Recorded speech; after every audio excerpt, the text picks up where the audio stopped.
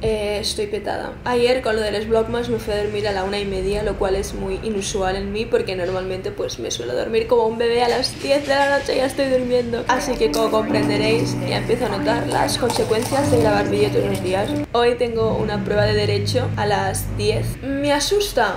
No, no me asusta sinceramente porque sé que va a salir bien. Si no sale bien tampoco importa. A ver, no es que no importe, sino no, no se va a acabar el mundo, cuenta un 10%, por lo tanto, pues nada. Y nada, hoy dice, os paso el link de la sesión de hoy, empezamos a las 9 y cuarto y no os conectéis antes de las 9 y 5, así que son las 9 menos 5, all good. Mirad, mirad, mirad, son y 59. ¡Ah! Va, va, va, va, actividad... No, práctica... Ah, ah. Y pondremos... Práctica 8, sube, sube... Mirad, mirad, mirad. 38 segundos me quedaban. Dios.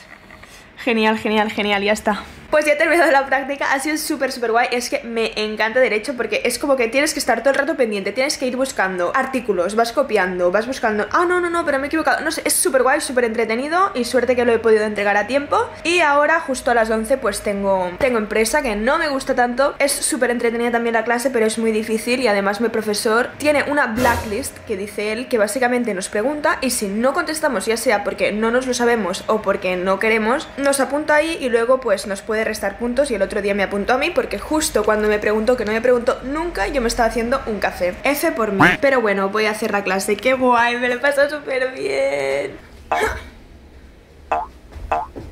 Es que me hace mucha gracia Me hizo mucha gracia porque en el blog más día 1 Puse este efecto y os hizo mucha gracia, así que...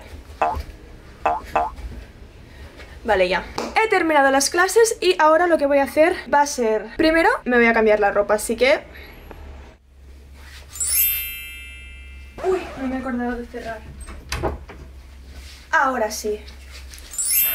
Entonces, ahora mientras me pongo las bambas, deciros que ahora lo que voy a hacer va a ser, tengo que ir al banco a, bueno, hacer unos, unos recados y luego voy a ir con mi abuelo a buscar el paquete del amigo invisible, volveré a mi casa, grabaré el vídeo, el unboxing y todo, que tengo unas ganas, en serio, o sea. Pero bueno, antes de todo pues tengo que comer, entonces, let's go to it.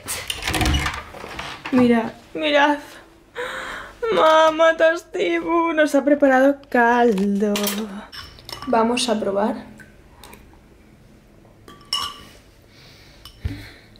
Yo no puedo, yo no puedo con mi madre lo bien que cocina. O sea, mi sueño en la vida es cocinar tan bien como mi madre. No pido tanto.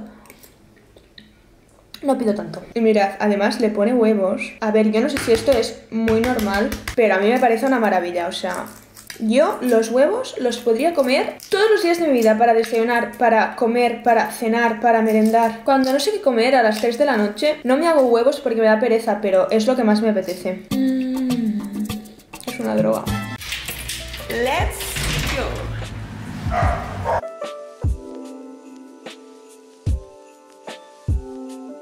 Bueno chicos, estoy en, en el lugar donde trabaja mi madre Acabo de abrir mi paquete del amigo invisible, hacer el vídeo y todo y de verdad, o sea, qué ilusión, o sea, tengo unas ganas de que veáis el vídeo. ¿Y qué hora es? Son las 3 y 10 y ahora lo que voy a hacer va a ser coger el tren e ir a ver a mi novio porque con esto del confinamiento por los fines no nos podemos ver, bueno, a partir del viernes en realidad no podemos vernos porque no vivimos en sitios, em, en el mismo sitio básicamente, vivimos un poco lejos y con las medidas anti-covid y tal pues no nos podemos ver y hoy es el último día y siempre intentamos aprovechar al máximo el jueves entonces pues eso. Voy a ir, lo voy a ver y voy a estar con él. Que sé que os gusta mucho también verle, es que es más mono. Y nada, chicos, estoy súper feliz, de verdad. Es que...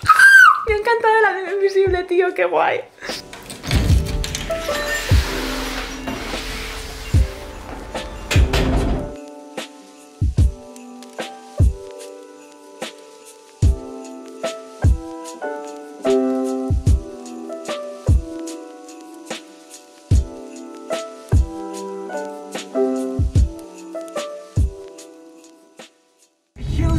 chicos, la última canción que suena y es Dynamite. Que es el cumple